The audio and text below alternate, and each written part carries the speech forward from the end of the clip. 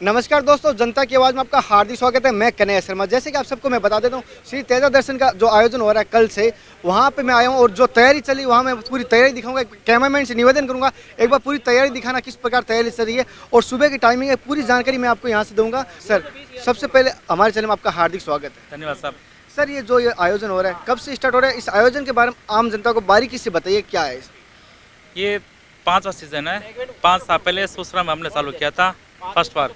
दूसरा सूसरा धरती अजमेर, वहाँ पे प्रोग्राम हुआ था। तीसरा हुआ था तेजा महाराज की ससुराल पनेर में। चौथा प्रोग्राम हुआ था हरसोर, डेगाना तहसील में। पांचवा प्रोग्राम अपना बीकानेर धरा पे, नोक मंडी में, मोट मंडी ससुड़ी मोट मंडी है, यहाँ प्रोग्राम हो रहा है।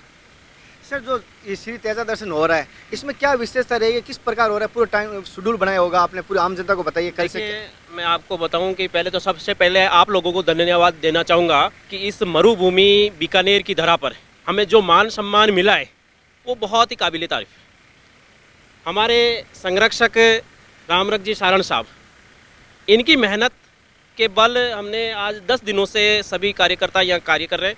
अब मैं सबसे पहले ये बताऊँ कि जन जन के आराध्य देव, लोकदेव वीर तेजा जी, जिन्होंने गायों के लिए और एक रेंग कर चलने वाले जीव के लिए प्राण अपने न्योछावर किए थे।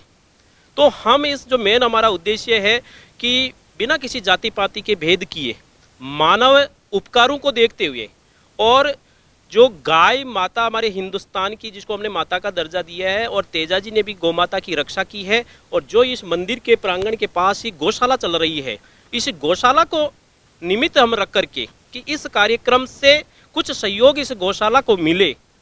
इस प्रकार हमने ये भव्य प्रोग्राम तीन दिवसीय, जिसमें संपूर्ण तेजा जी की कथा होगी, शाम को मान सम्मान जो सम्मान कार्यक्रम है और राजस्थान के जाने माने बड़े बड़े गायक कलाकार इसमें पधारेंगे। तो एक सांस्कृतिक उद्देश्य को रखते हुए और गौमाता के लिए ये कार्यक्रम तैयार हो रहा है। जैसे कि आपको पूरा शेर दिए गए तो आप नोखा वासियों को क्या कहना चाहोगे? जो जनता है उनको क्या कहना चाहोगे नोखा जनता को? जनता को धन्यवाद देना चाहते हैं और क्या? सर जो ये प्रोग्राम हो रहा है इसका आम जनता को बताइए शेड्यूल बताइए क्या है कब से और कितने दिन तक चलेगा और क्या टाइमिंग रहेगा फिक्स कार्यक्रम की शुरुआत हम प्रतिवर्ष एक वीर तेजा जी की झांकी के साथ जो अपने यहाँ मुख्य बाज़ार में कृष्ण मंदिर है प्रातः दस बजे ये फिक्स यहाँ से रवाना होगी। और दो घंटे का कार्यक्रम मुख्य मार्गों से होती हुई यहाँ वीर तेजाजी मंदिर तक ये पहुँचेगी, जिसके अंदर घोड़े, ऊँट, रथ, डीजे साउंड और बैंड बाजों सहित ये शोभा यात्रा, कलश यात्रा के साथ यहाँ आएगी। और उसके बाद सवा बारह से सवा चार बजे तक वीर तेजाजी की कथा साध्वी सूरज बाईसा के मुखारविंद से नयना विराम झांकियों के साथ प्रस्तुत की जाएगी।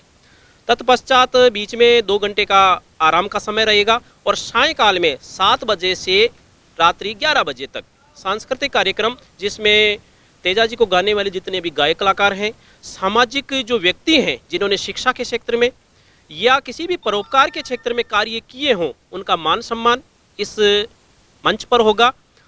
और रोज़ाना इसी तरह रात्रि में अलग अलग कार्यक्रम, जो हमारी राजस्थानी संस्कृति है, जिसमें हमारे यहाँ का घूमर नृत्य है, इसके अलावा गुजरात का गरबा नृत्य है, शेखावाटी का गिंदड़ नृत्य है, मीणावाटी का मीणावाटी जो नृत्य है, उन सबकी झलक यहाँ प्रस्तुत की जाएगी। जैसे कि इन्होंने जो प्रोग्राम बताया, मैं आपको ये निवेदन करूँगा और बताना चाहता हूँ कल सुबह श्री कृष्ण मंदिर से जो यात्रा निकलेगी, वो मैं आपको लाइव दर्शन दिखाऊँगा और ये जो तीन दिन का प्रोग्राम है, पूरी कवरेज के साथ आप बने रहिए।